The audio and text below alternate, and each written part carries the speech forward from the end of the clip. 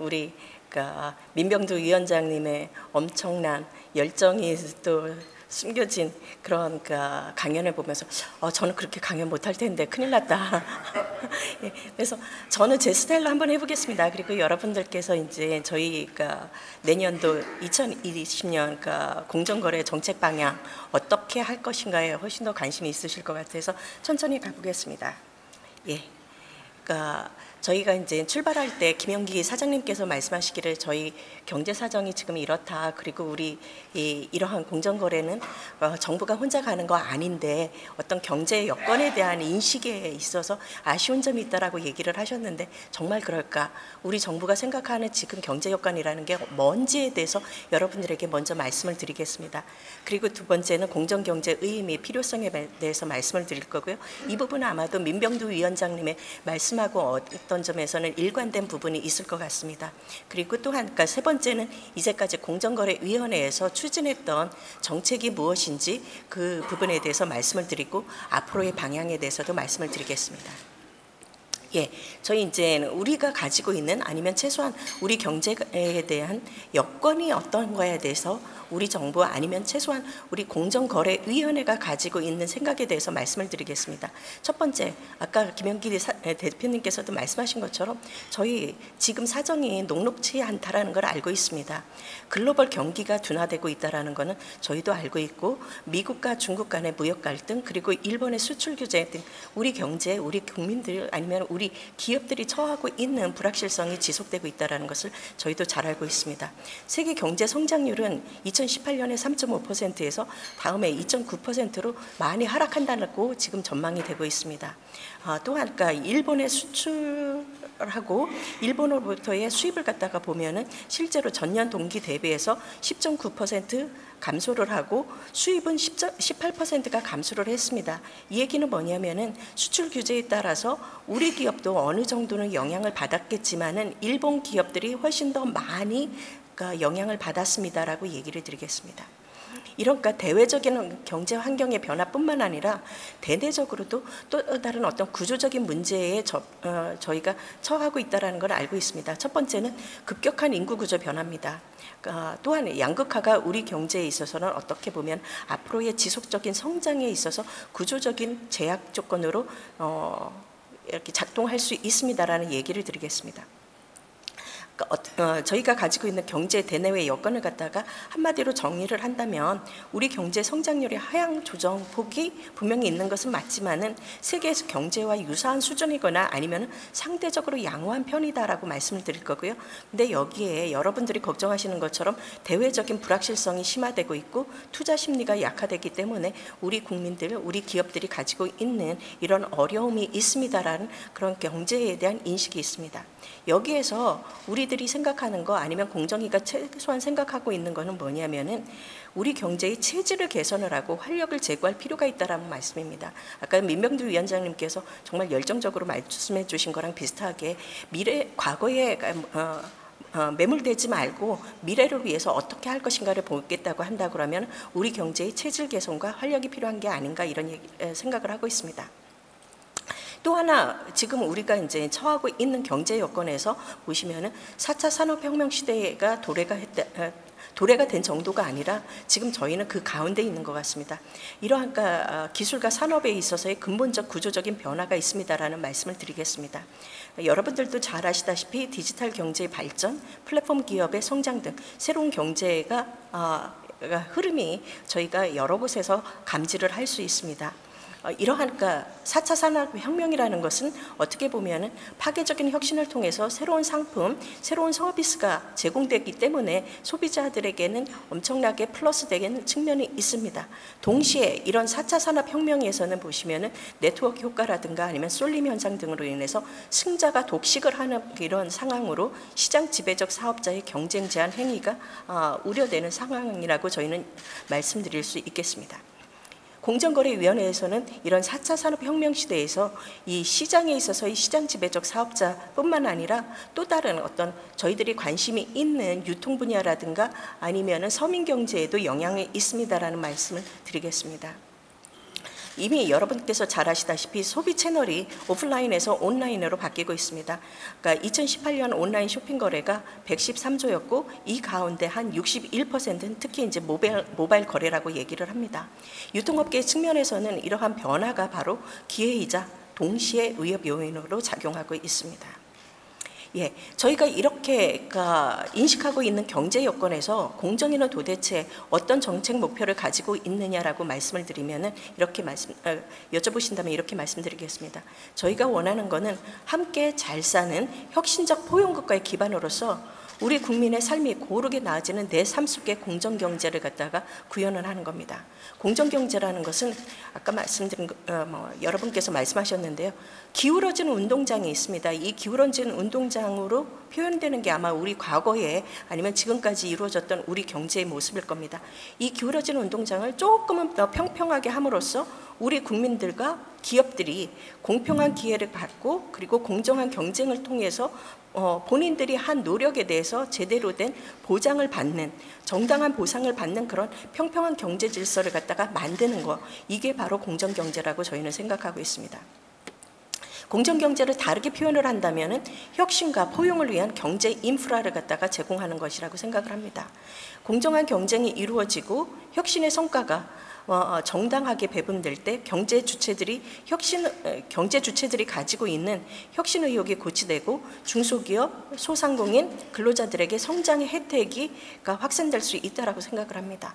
그러면 이 공정 경제라는 게 저희들이 아무데나 가서 어, 적용을 하고 기업들을 갖다가 어떤 발목을 잡는 이런 거냐 그렇지는 않습니다. 저희들이 생각할 때는 이 공정 경제라는 거는 시장 경제 질서에 대한 근본을 갖다가 제공 제공하기 위한 기본 가치이지만 이거에 대해서는 저희들이 공정한 시장 규칙이 준수되어야 된다라고 생각을 하고 공정 경제를 저희가 실시를 할 때는 법의 테두리 안에서 이, 어, 저희가 적용을 해야 된다라고 생각을 합니다. 그래서 저희가 생각하는 거는 공정한 시장 규칙이 준수되어서 이 안에서 이 시장 규칙 안에서 자율적이고 창의적인 경제 활동이 이루어지고 시장의 전반적인 효율성이 높아지는 그런 모습 이게 바로 공정 경제가 어, 추구하는 바입니다라고 말씀을 드리겠습니다. 근데 문제는 이런 겁니다. 그러니까 대표님께서도 말씀하신 것처럼 경제 여건이 굉장히 어렵지 않냐. 이거는 대기업도 마찬가지고 중소기업도 마찬가지일 겁니다. 대기업에서도 수익성을 갖다 높여야 되는 압력이 들어올 거고 기업 가치를 유지를 하거나 아니면 이걸 성장을 시켜야 되는 이런 압력 속에서 무슨 일이 벌어지냐면 잘못하면은 그러니까 공정하고 경쟁적인 그런 시장 환경이 훼손될 수 있습니다. 왜냐하면 불공정한 반칙 행위의 유혹이 발생할 수 있습니다라고 말씀드립니다. 이런 경우에는 대기업, 중소기업하고 소비자 모두에게 악영향을 끼칩니다. 그러기 때문에 저희들이 무슨 얘기를 하냐면 경제가 녹록하지 않을 때 이럴 때일수록 어떻게 보면은 법과 원칙에 따른 그런 공정 경제를 추진해야 됩니다라고 말씀드리겠습니다. 저희가 이게 탁상공론이냐 어려운데 실질적인 상황을 모르고 얘기하는 거냐 뭐 이런 얘기를 하시겠지만 저희들이 가지고 있는 공정거래위원회가 가지고 있는 데이터를 보시면 다른 생각을 하실 수 있겠습니다. 저희에게 가, 어, 저, 보통 저희가 공정경제는 어떤 식으로 추구하냐 그러면 여러분들 머릿속에 갖고 있는 거는 가불 정책 아니면 대기업 정책입니다. 근데 가불 정책에 대해서 먼저 말씀을 드리겠습니다. 가불 정책이 대상으로 하는 이러한 그러니까 사업체들이 어떤 사업체들이냐? 가맹점 일부의 뭐 이렇게 계산에 의하면 한 40만 개 정도 될 수도 있고 24만 개 정도 될 수도 있습니다. 이런 가맹점 24만 개, 대형 유통업체에 거래하는 중소납품업자 19만 개, 그리고 대리점 30만 개, 중소기업 370만 개, 어떻게 보면 440만 개가 저희가 말하는 갑을 관계에 있어서 을에 해당할 수 있는 그런 사업체 숫자라고 생각을 합니다. 즉 우리의 서민 경제하고 직결되는 그런 부분이 바로 갑을 정책입니다. 근데 이 갑을 정책에 해당하는 요 서민 경제에 해당하는 이런 사업자들의 말이 힘의 불균형 때문에 굉장히 어려움을 겪고 있습니다라고 얘기를 합니다. 좀 말씀드린 것처럼 4차 산업혁명 시대에 따라서 소비 패턴이 오프라인에서 온라인으로 번, 어, 이동하고 있는데 그뿐만 아니라 자기와 경쟁을 해야 되는 다른 대리점, 가맹점들이 엄청나게 많이 출점되어 있는 상황입니다. 또한 수익성 악화 때문에 납품업체라든가 아니면 점주 등에 대해서 여기에 에, 어, 가맹점 본사 아니면 대형 유통업체가 어떤 식으로 보면 비용을 전가할 우려가 있습니다. 이거는 저희가 가지고 있는 숫자로도 나타납니다. 저희 공정거래에 1년에 4만 건에서 5만 건의 신고와 민원이 들어옵니다. 이 4만 건이나 내지 5만 건의 이러한 민원과 신고 사에서 어, 나타난 걸 보시면은 하도급, 가맹, 유통, 대리점 관련 민원 신고들이 예, 그러니까 호소하는 그런 숫자가 크, 어, 증가하고 있습니다. 하도급의 경우에는 660해서 2018년에는 830개 정도로 증가를 했습니다. 여기에서는 제가 말씀드린 5만 건 중에 실제로 저희가 사건화할 수 있었던 그런 신고를 얘기를 어, 말씀드리겠습니다. 또한 가맹 유통 대리점의 경우에도 한 200개 정도의 실제로 사건화할 수 있는 부분들이 들어옵니다. 이분들이 제기한 그러니까 신고한 건 음, 내용을 보시면 이렇습니다. 하도급 경우에는 대금을 갖다가 지급하지 않더라. 아니면 대금을 갖다가 지연 지급을 하더라. 아니면 원가 정보 등을 요구하고 일방적으로 하도급 대금을 갖다가 인하해달라고 강요를 하더라. 계약서조차 발급을 하지 않더라. 아니면 기술 자료를 요구하거나 자, 어, 이 받은 기술 요, 어, 자료를 갖다가 타 업체에게 제공을 하고 그 업체로부터 납품을 받더라 이런 얘기가 들어옵니다. 또한 가맹 유통 대리점 쪽에서 신고한 내용을 보시면은 일방적으로 판촉 행사를 갖다가 어, 강요를 하거나 아니면 인테리어 비용들을 갖다가 전가를 하고 있습니다. 또한 공정위에 신고를 하는 경우에는 부당하게 계약을 해지하거나 어, 또한 그러니까 이분들이 가지고 있는 그러니까 창업 시에 필요한 정보에 대해서는 허위 과장 정보가 제공이 되는 등 여러 가지 문제가 있다라는 게 저희가 실질적으로 가지고 있는 데이터입니다. 두 번째, 저희들이 가지고 있는 거에서 어, 어, 떻게 보면은 그러니까 아, 대기업 집단 정책 여러분들이 쉽게 생각하면은 재벌 정책입니다. 여, 어, 여기에서 보시다시피 이제 GDP 대비해서 30대 기업 집단이 가지고 있는 자산 총액이 2000년에 52%에서 2017년에 100%로 증가를 합니다. 또한 30대 기업 대비해서 5대 기업 집단이 가지고 있는 자산 비율도 보시면 53%에서 59%로 증가를 합니다. 이거는 뭐냐면 대기업 집단으로의 경제력 집중이 여전히 하며 그러니까 대기업 집단 중에서도 특히 상위 집단으로 쏠림 현상이 심화됩니다. 여기서 말씀드린 거는 공정거래위원회는 이렇게 대기업 집단으로 경제력 집중되는 거 이거에 대해서는 저희가 개입하지 않습니다. 두 번째, 그러니까 대기업 집단의 현황을 보시면은 소유 지배 구조를 보시면은 대기업 10대 기업에 있어서 총수 지분율이 90년에 어, 5.1%에서 0.9%로 어, 감소를 하고 있습니다. 계열사 전체로 지분율을 보시면 33%에서 54%로 감소를 합니다. 작은 지분을 가지고 있지만은 어, 지배력은 크다라는 말이 이런 측면에서는 나옵니다. 그렇지만 공정거래위원회는 이 부분에 대해서도 직접적인 제재를 하지 않습니다. 기업이 성장하고 그리고 경제력 집중하는 그 자체는 효율성하고도 관계가 있기 때문에 공정거래위원회가 이 부분에 대해서는 직접적인 제재를 하지 않습니다. 하지만 일감 몰아주기 같은 일이 벌어집니다. 어떻게 벌어지냐 보시다시피 적은 지분으로 소유를 하고 있기 때문에 여기에 편법적인 승계를 위해서 총수라든가 아니면 창업자 가족이 가, 지고 있는 그러한 어, 기업에 대해서 일감 몰아주기를 합니다. 이 경우에는 어떤 거냐면은 일감 몰아주기 아니면 여러분들이 알고 있는 내부 거래에 대해서 모두 다 공정거래위원회에서 제재를 하는 것은 아닙니다. 저희들이 얘기할 때는 부당 내부 거래입니다. 부당 내부 거래는 무슨 의미냐면 시장에서 살 수 있는 것보다 훨씬 더 비싼 값에 사주고 시장에다 팔 수 있는 것보다 훨씬 더 낮은 가격에 판다라고 생각을 하시면 됩니다. 그러면 이렇게 부당한 내부 거래를 갖다가 하시는 기업들 입장에서 주주 입장에서 보시면 본인 기업들의 리소스가 총수하고 관계된 그런 승계하고 관계된 다른 기업한테 넘어가는 효과가 있습니다. 주주 입장에서는 기업 가치를 훼손시키는 거고 수익성을 악화를 시키는 겁니다. 저희 공정거래 입장에서 보시면은 어, 그런 관계에서 부당 내부 거래를 하는 관계에서 어, 특정한 다른 독립적인 그러한 기업들은 경쟁에서 배, 어, 배제될 수가 있습니다. 이런 측면에서 보면은 비효율적인 자원 배분이 이루어지고 또한 혁신적이고 성장할 수 있는 중소기업의 경쟁 기회를 갖다가 저해한다라고 생각을 합니다. 이 부분에 대해서는 저희가 제재를 하고 있습니다. 그리고 이거는 법에 의해서 저에게 주어진 권한이라고 생각을 하고 있습니다. 예, 저희가 가지고 있는 그동안의 어떤 추진 성과에 대해서 간략하게 말씀을 드리겠습니다. 가불관계에 대해서는 하도급, 가맹, 유통, 대리점 등에 있어서 가불관계에서 을에 대한 보호 제도를 갖다가 대폭 강화를 했습니다. 뭐 어, 주요 제도를 개선에 대해서 잠시 말씀을 드리면 중순 하도급 업체의 거래 의존도를 높이고 납품 단가 등에 대한 협상력을 저하시키는 전속 거래라든가 아니면 원가 정보 요구 행위를 갖다가 저희가 감지, 어, 금지를 시켰습니다. 있다라고 말씀드리겠습니다. 그래서 실제로 서면 실태 같은 걸 해보면은 중소사업자가 체감하는 거래 관행이 개선되었다는 리포트가 나옵니다. 대기업 집단에서는 아까도 말씀드린 것처럼 저희는 어, 어떤 효율성이라든가 이런 것 때문에 발생할 수 있는 경제력 집중에 대해서는 어, 저희가 직접적인 개입을 하고 있지 않습니다. 어, 다만 저희들은 대기업 집단이 가지고 있는 부당 지원이라든가 일감 몰아주기에 대해서는 엄정하게 대응을 하고 있고 2017년 9월 기업 집단국이 저희가 설, 어, 새로이 선, 어, 아까 설치가 됐습니다. 이후에 사, 아까 뭐 사익 편취라든가 부당 지원 등에 대해서는 제재를 하고 있습니다. 동시에 저희들은 그러니까 어, 대표님 말씀하신 것처럼 공정거래위원회 혼자 가지는 않습니다. 기업하고 같이 가고 기업 집단하고 같이 갑니다. 여러분들께서 자율적으로 어, 소유지배 구조 개선을 하신다면 저희들은 뒤에서 어, 적극적으로 응원을 하고 있습니다. 이런 공정위의 그간의 노력에 대해서는 저희들이 충분하다고 생각은 하지 않습니다. 어떤 한계가 있습니다.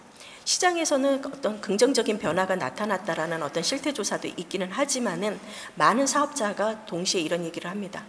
아직도 여전히 불공정한 관행을 갖다가 느낄 수 있겠더라. 아니면 여전히 갑질에 노출되어 있습니다라고 얘기를 합니다.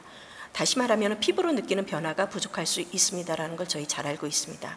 또한 일부에서는 그런 얘기도 하십니다. 공정거래위원회가 이런 그러니까 혁신 역량에 갖다가 할 수 있는 그런 분야 아니면은 공정위의 전통적인 그러니까 영역인 그런 경쟁 촉진 등의 영역에 대해서의 어떤 활동이 좀 부족한 게 아니냐 이런 비판적인 시각도 있다라는 걸 알고 있습니다.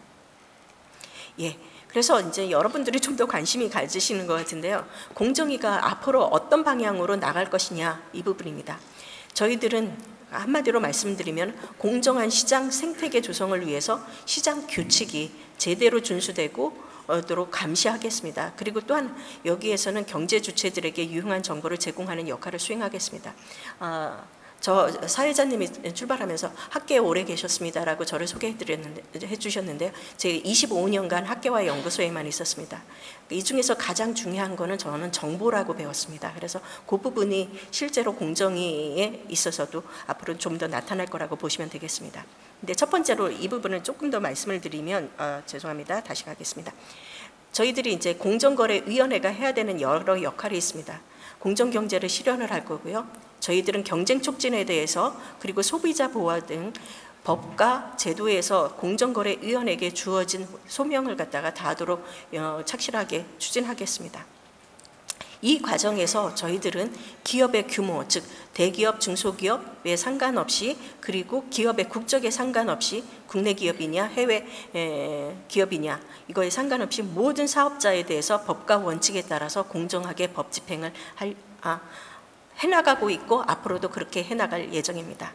그리고 또한 단발적이고 사후적인 뭐 사건 처리에서 한 발 더 나가서 불공정한 관행을 개선하고 시장에 활기를 넣을 수 있도록 구조적인 제도적인 개선 방안을 모색하도록 하겠습니다. 어, 또한 예, 좀 전에 말씀드린 것처럼 그러니까 사업자들 또는 소비자들이 충분한 정보를 바탕으로 합리적으로 선택을 해서 시장에서 경쟁 원리가 작동할 수 있도록 저희는 비, 정보에 있어서의 비대칭성을 갖다가 완화하는 그런 노력을 하겠습니다. 좀 더 이 문제를 갖다가 구체적으로 살펴보겠습니다. 저희들이 생각할 때 갑을 문제는 어떻게 할 것이냐 포용적인 생태계 구축은 필요한데 여기에 있어서 어, 공정거래위원회가 직접적인 개입보다는 뭐 당연히 직접적인 개입도 합니다. 법 위반 사항이 발생을 하면은 저희들은 그 어, 경우에는 엄정하게 법 집행을 할 것입니다.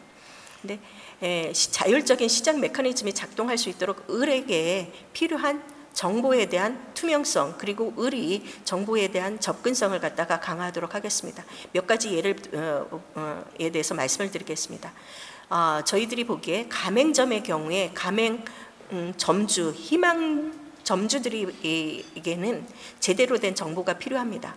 근데 이 가맹 본사들이 제대로 된 정보가 아니라 본사가 실제로 직영점도 경영을 해보지 않은 경우 남의 브랜드를 갖다가 베껴갖고 하는 미투 브랜드라고 얘기를 하시는 분들이 있습니다. 이런 경우를 갖다가 배제하기 위해서 본부가 실제로 운영 경험이 있는 경우에 가맹점을 모집하도록 하겠습니다. 앞으로는.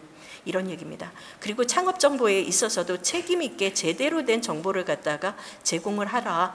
허위 과장 광고 뭐 이런 거 하지 마십시오라고 얘기를 드릴 거고요. 이런 측면에서 저희가 새로 이 고시를 마련을 해서 가맹 본사들이 어떤 식으로 정보를 제공을 해야 되고 어떤 정보가 들어가는지에 대해서 말씀을 드릴 겁니다.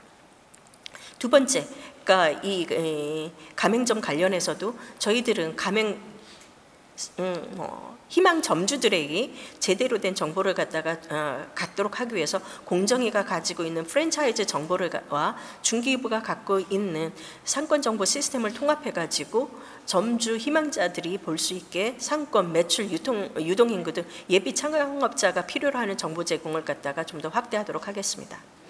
또한 그러니까 어, 저희들이 보기에 이 에, 불공정한 거래 관행이 많은 쪽에서는 공, 어, 저희들이 좀 더 표준 계약서 도입 업종을 확대하고자 합니다. 공정한 비용이라든가 수익 분담 및 상생 협력 문화 정착을 위해서 공정거래 협약 체결을 유도를 하고 표준 계약서 도입 업종을 확대를 하겠습니다. 실제로 저희들이 가맹이나 아니면 유통 쪽에서 보시면 표준 계약서 도입 업종이 그러니까 4개에서 11개 뭐 이렇게 증가를 하고 있는 것을 보실 수가 있겠습니다.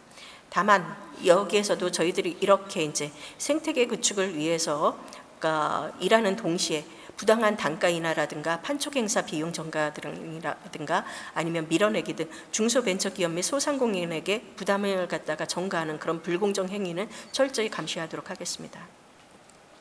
예, 또한 그러니까 대중소기업 간 유기적 상생협력 어, 체계를 구축하도록 하겠습니다. 일감 몰아주기나 부당 내부 거래 등 대기업 집단의 불공정한 행태를 시정하도록 하겠습니다. 음, 어, 여기에는 아까 말씀드린 것처럼 규모와 상관없이 하겠습니다라는 얘기를 드릴 거고요. 이제까지는 저희가 5조 이상의 대기업 집단에 대해서만 저희 법을 적용을 했습니다. 법에서도 5조 미만의 기업의 기업 집단에 있어서도 이러한 그러니까 어, 법을 갖다가 적용할 수도 있게 해줍니다. 그래서 이 부분에 대해서도 엄정하게 제재를 하겠고요. 시장 감독 기능을 갖다 수행하는 타 부처와도 정보 공유를 갖다가 추진하도록 하겠습니다.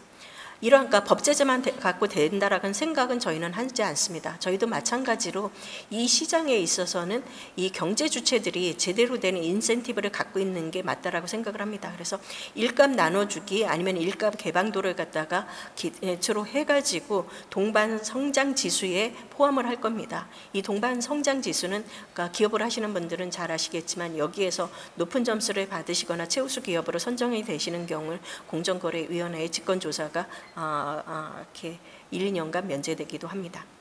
여기서 저희들이 원하는 것은 이러한 그러니까 뭐 어, 상생 협력 체계를 구축을 함으로써 대기업하고 중소기업 간 기업 간의 어떤 건강한 산업 생태계를 조성을 하는 겁니다. 여러분들께서 최근에 보셨다시피 일본의 수출 겨, 어, 규제가 있는 있을 때 대기업에서도 어느 정도 어려움을 겪었습니다. 어, 국제적인 어떤 supply chain에 포함되어 있는 건 좋은데 이런 관계에서 국내에서 제대로 된 그런 하도급 관계 아니면 생태계가 이루어지지 않는 않는다 그러면 다른 나라 아니면 다른 나라 정부가의 정치적인 목적으로 이루어지는 어떤 뭐 수출 규제라든가 이런 경우에는 대기업도 어떻게 보면은 리스크에 직면을 합니다. 이런 리스크 관리라는 측면에서 대기업에게도 좋고 그리고 중소기업에 있어서는 같이 성장을 하면서 어 어, 이렇게 혁신할 수 있는 기회가 주기 때문에 저희들이 생각에는 이런 어, 이렇게 건강한 사, 어, 협력 체계를 구축하는 게 대기업과 중소기업한테 모두에게 도움이 되는 윈윈하는 상황, 어, 상태가 된다라고 생각을 하고 있습니다. 예, 그러니까 저희가 4차 산업혁명 시대를 얘기를 많이 합니다. 아까 이제 그러니까 어, 우리 이제 민병두 위원장님께서 말씀을 하셨는데요. 그러니까 기업에 있어서 어떻게 보면은 브레이크가 필요하고 엑셀레이터가 필요하다고 얘기를 하시는데요.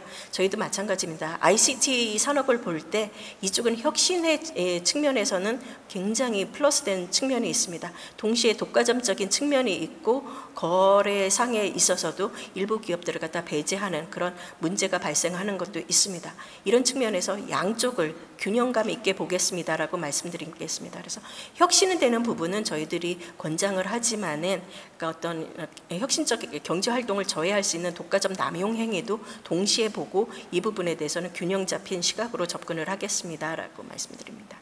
또한 그러니까 기업들이 가장 싫어하는 것 중에 하나가 불확실성이라고 얘기를 합니다. 정책에 있어서의 불확실성, 어, 그리고 이 경제 환경에 있어서의 불확실성인데요. 저희들이 가지고 있는 법 집행이 어떻게 되는지는 시장에 다 조금 더 많이 알리도록 하겠습니다. 그리고 이러한 그러니까, 어, 정보를 통해서 기업들이 공정위에 대해서 어떤 식으로 들어올지를 알고 어떤 어, 위법한 행위, 불법한 행위는 하지 않도록 해, 그러니까 사전적으로 만들어 주시는 그런 환경을 만들겠습니다.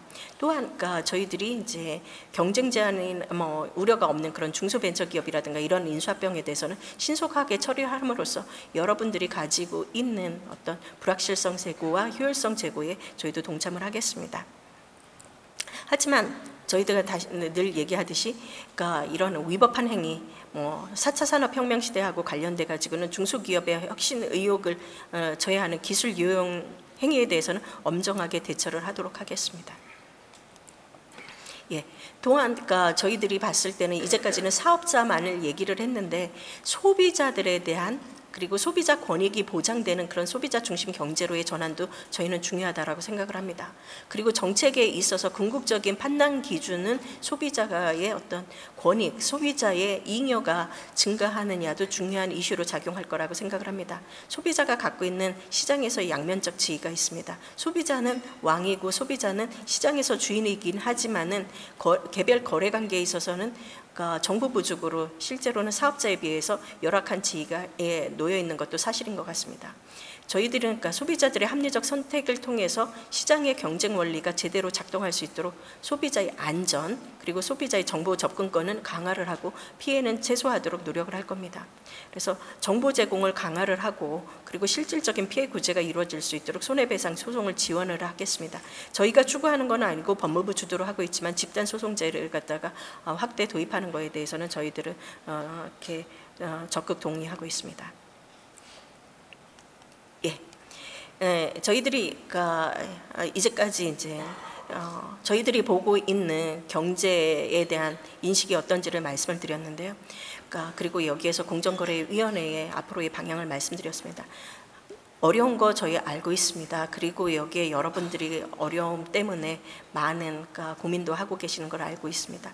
이런 그러니까 어려운 음, 경제 여건 속에서 저희가 어, 생각하기에는 경제 체질을 개선하고 활력을 불어넣는 일이 필요합니다. 그리고 그러니까 체질 개선과 활력을 불어넣기 위해서는 공정한 시장 경제 질서가 어, 필요합니다라고 말씀드리겠습니다. 공정위는 이러한 그러니까 공정 경제의 온기가 그러니까 특정 기업이라든가 특정 규모의 기업에만 들어가는 게 아니라 어, 국민들에게 골고루 전달될 수 있도록 하기 위해서는 엄정한 법 집행이 필요하고 그리고 구조적이고 제도적인 개선 방안이 필요합니다라고 생각을 합니다. 어, 여러분들께서 말씀해 주신 것처럼 그런데 여기에는 공정위 혼자만 갈 수는 없습니다. 공정위 노력만으로는 한계가 있습니다. 시장에서의 자발적인 공정 문화의 정착 확산이 필요합니다. 저 head table에 옆에 계셨던 분께서 compliance 뭐, 담당이라고 얘기를 하셨는데 저희 CP 프로그램 같은 거에 여러분들께서 많이 참여해 주시면 감사할 것 같습니다. 앞으로도 그 이제 공정위는 그러니까 여러분들의 관심과 격려와 그리고 이 법 준수하려는 노력 이런 부분에 대해서 어, 저희가 어, 간곡히 부탁을 드리고 그리고 어, 저나 아니면 저희 직원들이 여러분들과 함께하는 그러면서 현장의 목소리를 갖다가 더 경청하도록 하겠습니다. 감사합니다.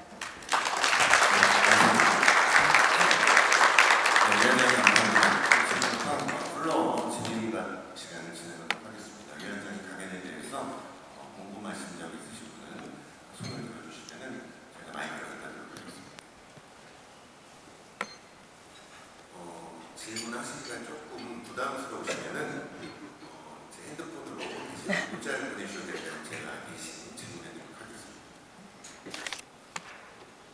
조금 불편하시면 아 저한테 벌써 카톡이 왔습니다. 그러면 질문을 네, 질문을 제가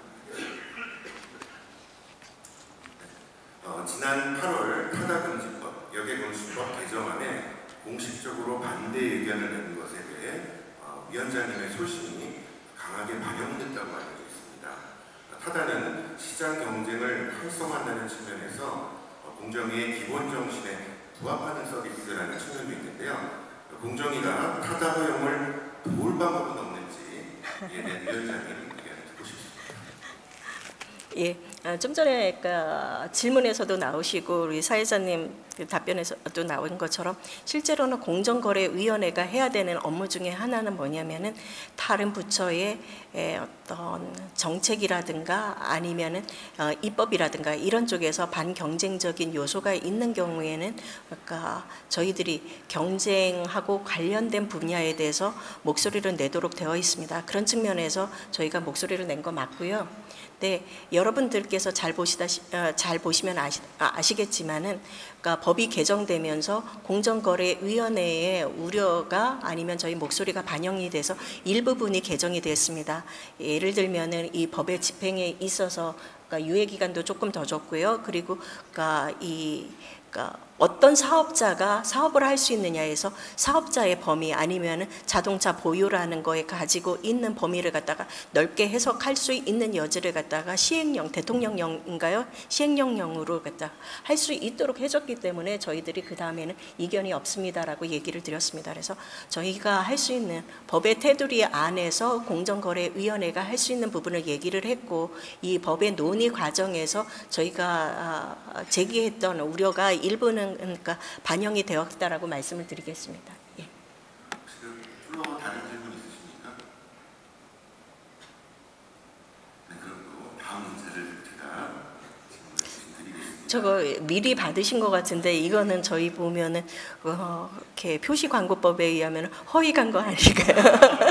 아 농담이었습니다. 예. 네, 어, 위원장님 취임하신 이후에 어, 다국적 ICT 기업과 플랫폼 기업을 계십니다. 그런데 어, 국내 ICT 플랫폼 기업은 어, 외국 공룡과 싸우느라 너무 힘들다. 공정 경제도 좋지만 기업의 생존이 먼저 아니냐 이런 또 불만을 토로하기도 합니다. 어, 이에 대한 위원장님 생각을 듣고 싶습니다. 예, 제가 공정거래위원회의 법 집행을 하면서 어, 좀 전에도 말씀드린 것처럼 기업의 규모에 상관없이 기업의 국적에 상관없이 엄정하게 법 집행을 하겠습니다라고 말씀을 드립니다. 저희가 가지고 있는 아니면 진행했던 사건이라든가 아니면 어, 그러니까 정책에서 보시면 우리나라 기업뿐만 아니라 해외 기업도 적용을 받습니다. 저희가 며칠 전이었었죠. 퀄컴에 대해서 1조 300억 원의 과징금을 부과한 게 에, 고등법원에서 저희가 승소를 했습니다. 여러분들께서 공정거래위원회 굉장히 잘했다라고 칭찬을 해주시고 있는 부분인데요. 여기에서 저희들은 법 집행에 있어서는 국내 기업이나 해외 기업이나 국적에 무관하게 법적, 어, 법 집행을 합니다. 저희들이 법 집행을 갖다가 공정하게 해야 되고 그리고 우리나라 기업들이 해외에 나갔을 때도 해외 경쟁 당국이 그러니까 우리나라 기업이기 때문에 그러니까 차별적으로 공, 이렇게 법 적용을 하는 걸 막을 수가 있습니다.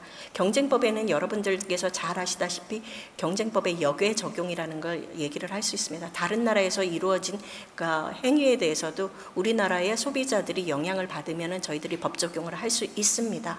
근데 우리나라 기업들이 하는 법 어, 행위도 다른 나라에 가서 실제로는 법 적용 대상이 됩니다. 각국이 모두 다 자국의 기업뿐만 아니라 다른 나라의 기업들한테도 공정하게 법 적용을 하는 게 저희는 맞다라고 생각을 합니다. 그래서 저희들의 에, 공식적이고 앞으로도 계속 지속해야 될 방향의 하나는 우리는 국적에 무관하게 법 적용을 하겠습니다. 여러분 어려운 시간 내주신 조성욱 위원장님께 다시 한번 큰 박수 부탁드립니다. 예, 감사합니다.